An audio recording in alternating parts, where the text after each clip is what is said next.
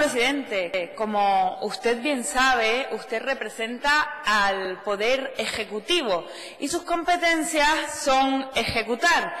Pero vistos los datos, mm, creemos que la verdad es que no se les da nada bien.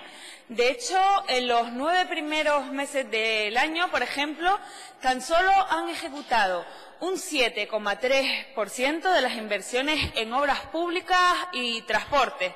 Eh, de hecho, casi todas ellas eh, destinadas a carreteras, de las cuales de 288 millones de euros tan solo se han gastado 17 millones.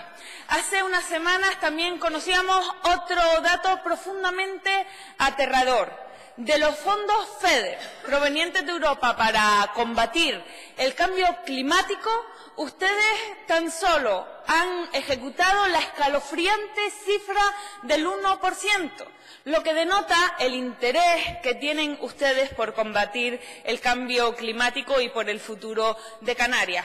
Hoy conocíamos otro dato terrible también eh, de los fondos FEDER provenientes de Europa, pero eh, para combatir la pobreza y exclusión social, tan solo han ejecutado el 28%, como si no hubiera gente en Canarias pasándolo mal.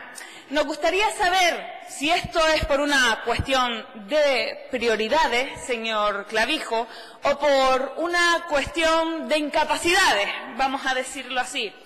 Me, le quiero escuchar porque quiero ver a quién va usted a culpar hoy.